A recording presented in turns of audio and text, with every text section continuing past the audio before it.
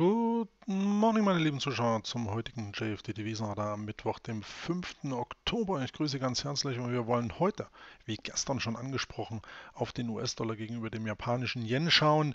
Den Goldpreis, der sich heute ein Stück weit erholt, ähm, ja, der geriet ja gestern richtig unter Druck, den möchte ich mir aber erst morgen vornehmen, das schon mal vorab. Der Goldpreis wird morgen bzw. heute Nachmittag schon zum JFD Devisenradar Webinar von 15 bis 16 Uhr im Fokus stehen. Werden wir uns den Goldpreis mal anschauen, weil gestern gab es ja doch, ich will mal so sagen, die derbe Kelle auf den Goldpreis. Hier ganze fast 50 Dollar verloren, 47 Dollar rund waren es.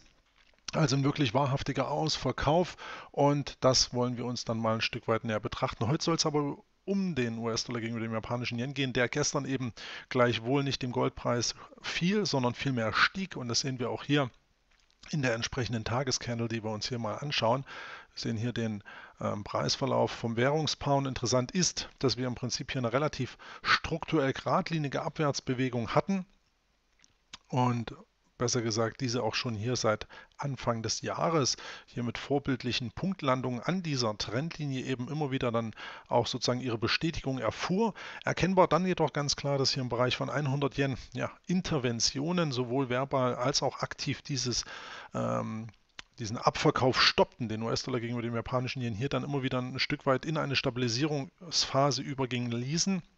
Und man sieht hier sehr schön wirklich, wie an diesen Punkten eben immer wieder auch da der Yen eine gewisse Schwäche erfuhr und der US-Dollar entsprechend performte. Das Ganze nahm dann hier Ende September wieder Form an, nachdem die Marke von 100 Yen hier ähm, touchiert wurde am 27. September mit 100,08. Das ist hier wirklich ähm, ja gerade so am Limit, sage ich mal, vor der 100-Yen-Marke, aber letztlich wieder touchiert, kann man meinen. Und dann folgten eben hier weiter steigende Notierungen. Gestern dann der fulminante Ausbruch auch durch die US-Dollar-Stärke letztlich gab es aber hier den richtigen Schub nach oben und Tatsache ist, wir haben mit dieser Momentum-Kerze, und das ist eine Art Power-Candle, die wir hier sehen, gestern US-Dollar-Yen hier mit, äh, jetzt muss ich mal kurz spicken, aber 130 Pips nach oben gelaufen. Der Durchschnitt beträgt aufgrund der fallenden Volatilität während der letzten Zeit rund 85 Pips nur. Also gestern, das sehen Sie auch in der Kerzengröße, ein definitiv stark bullischer Tag, der gleichwohl hier über das Niveau von 102,50, 102,55 führte. Hier ganz klarer Widerstandsbereich.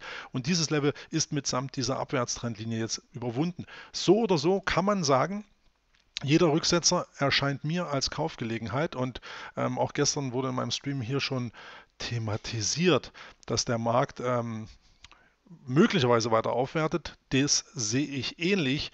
Und insofern, ähm, wenn es denn Rücksetzer geben sollte, scheinen die mir hier in dem Bereich 102 kaufenswert, um, und das ist das nächste Ziel, hier Richtung 106 zu laufen. Also das kann man hier relativ unverblümt sagen. Der Markt scheint jetzt bereit für eine weitere Aufwertung. Der US-Dollar sollte hier profitieren, der Yen entsprechend, äh, entsprechend schwächer gehen.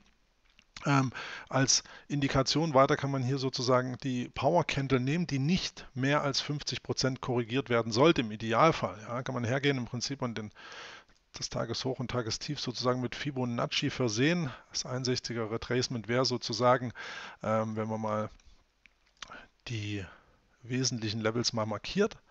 So, wären im Prinzip das Maximum an Rücklauf, was man dem Währungspaar hier sozusagen einräumen könnte, einräumen dürfte.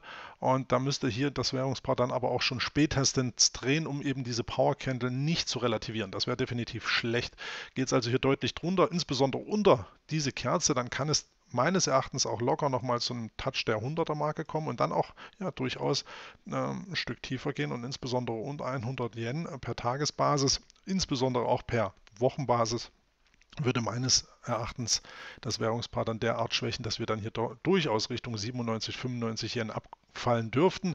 Das ist auch zunächst eine präferierte Variante eben dessen, dass es hier weiteren Druck geben dürfte, der Yen weitere Stärke erfahren sollte.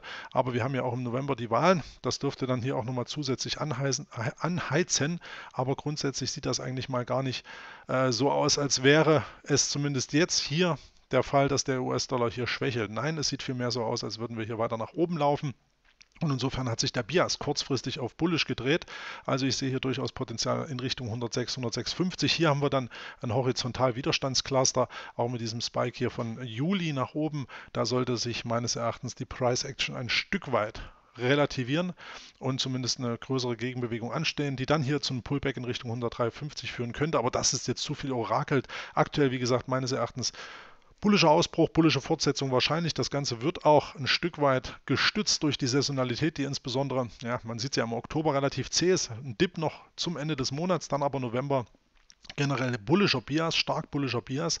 Ähm, sehen Sie auch hier an dieser äh, Preisskala oder Punkteskala vielmehr. Das geht hier deutlich in Richtung 102. Das ist schon hier ähm, ja, eine gute Hausnummer. Da ist der Dip hier in Richtung 99,9, 99,8 fast schon zu vernachlässigen.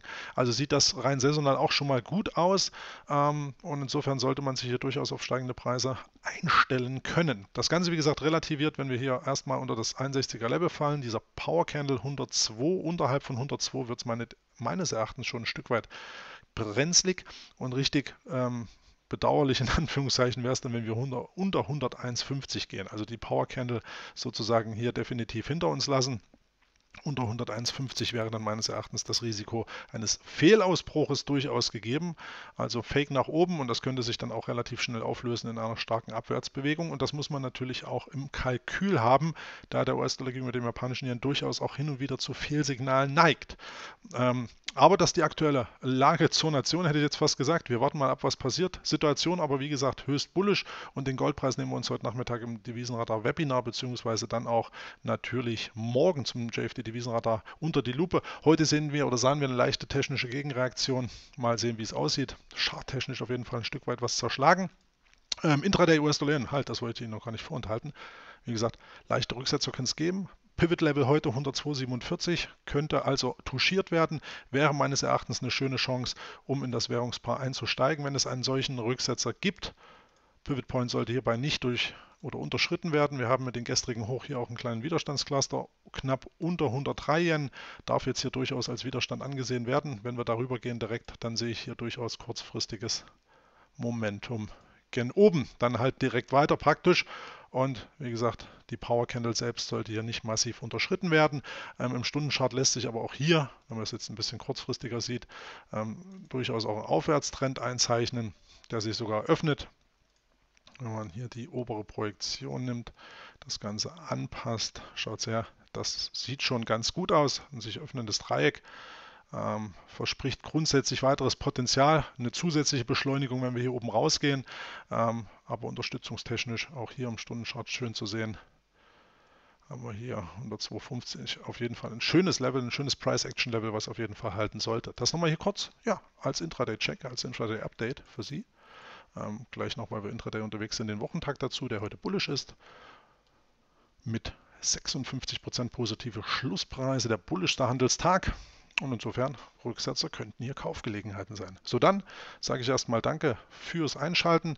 Ähm, schauen Sie bei uns vorbei auf dem JFD Desktop. Prüfen Sie die Brokerage-Funktion Guidance und JFD. Der Handel hierbei ja möglich. Also Sie können CFDs und Forex über diese eigentliche Analyseplattform zuvor, jetzt eben auch Handelsplattform ähm, abarbeiten. Auf jeden Fall eine riesentolle Sache. Dazu wird es auch auf der World of Trading das ein oder andere Special geben. Freue ich mich drauf, wenn wir uns sehen. Ich sage erstmal Danke fürs Dabeisein.